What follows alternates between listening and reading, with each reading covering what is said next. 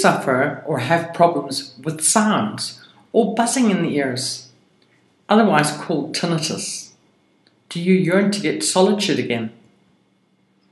Right, as a prior tinnitus victim myself, I could definitely relate to what you're going through. And I am going to do my best to explain and try to guide you so that you will understand much more about this problem. Circulatory problems, exposure to noise, hearing loss, injury, adverse effects of many different drugs, and even stress, to name just a few. While it may be rather bothersome, tinnitus ordinarily actually is not a sign of anything extremely serious or life threatening.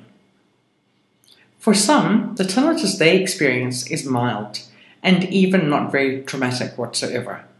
But for others, it can be very intense and severe, very aggravating and distressing, and that completely takes over one's life.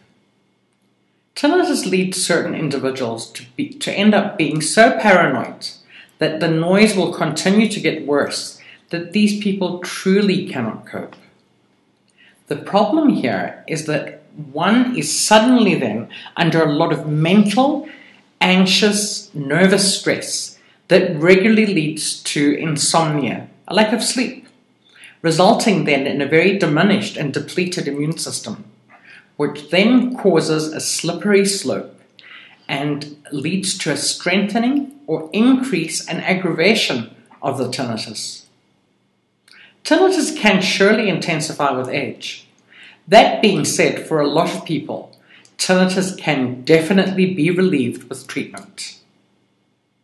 If one identifies the root cause and acts to treat it, the ringing in the ears could very well be substantially reduced, making it far less distressing, and you can thereupon proceed to enjoy a productive, enjoyable, happy existence.